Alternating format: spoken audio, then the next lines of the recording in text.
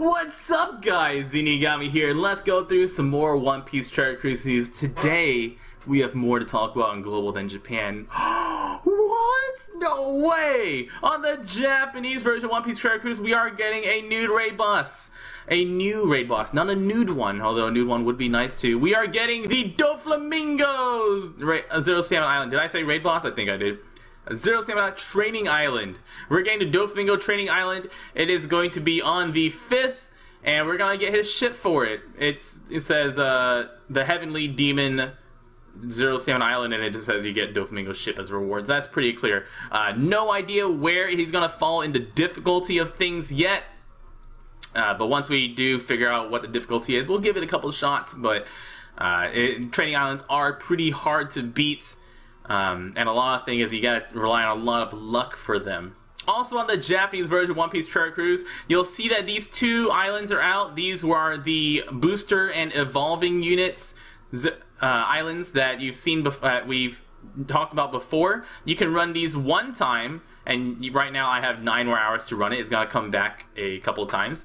And on these islands, the secret stage for both of them or the secret stage for the boosters is the Rainbow Dragon, and the secret stage for the piggies is the Princess Turtle. So if you are looking for a Princess Turtle or you're looking for a Rainbow Dragon you want to get that, you can run through the island and before you get to the last stage, you can exit if you do not get that secret stage. So you'll go to the menu button in the upper left hand corner, hit quit, and say yes, you want to quit. You'll lose out on that 7 stamina, but uh, Princess Turtle is definitely worth 7 stamina, so you can give those a couple tries, just like how we've talked about resetting on one of the event islands to get the better Bon Clay cape item that came out a little while ago.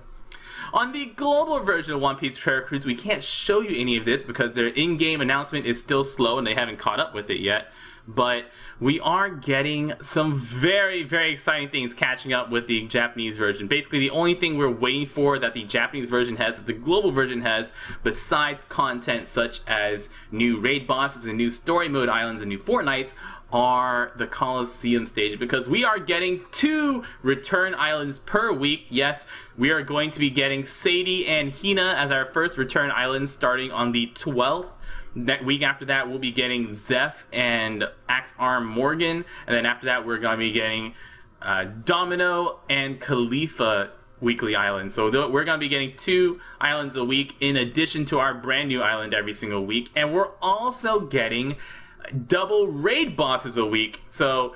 Uh, if you didn't know, some people actually, I'm surprised, did not notice, but Global actually does have a weekly Fortnight Island, or weekly raid bosses already. And the weekly raid bosses are on every Thursday. Now every Sunday, we are getting on starting on Sunday, July 17th, we're getting two raid bosses a week, one on Sunday and one on Thursday like we usually do.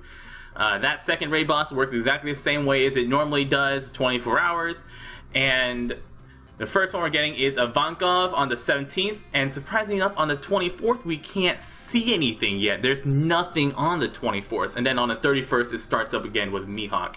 But that leads to a lot of speculation as to why is there nothing on the 24th, which we would expect a new raid boss to be on. And that could be that the 24th is going to be a brand new raid boss for Global.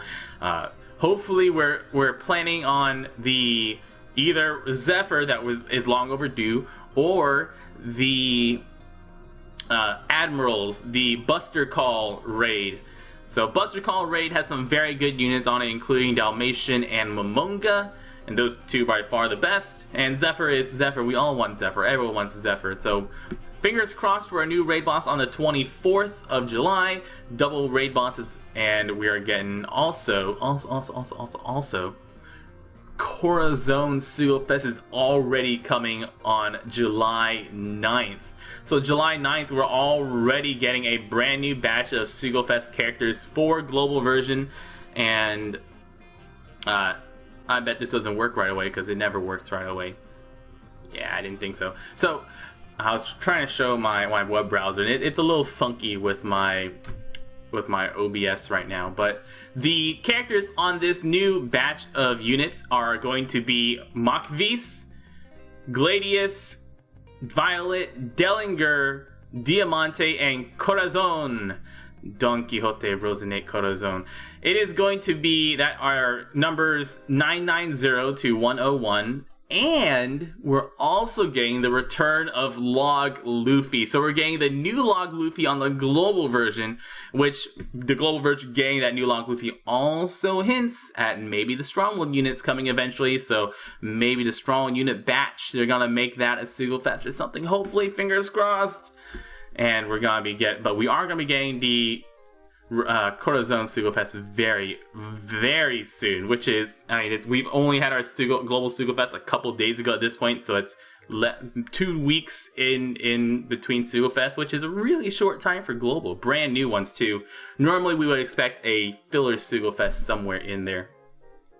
And yes, as, as chat mentioned, we do also see one of the new Coliseum units spoiled already. The new Coliseum unit for the next batch being Foxy, Grandma Foxy specifically. So uh, I hate Foxy.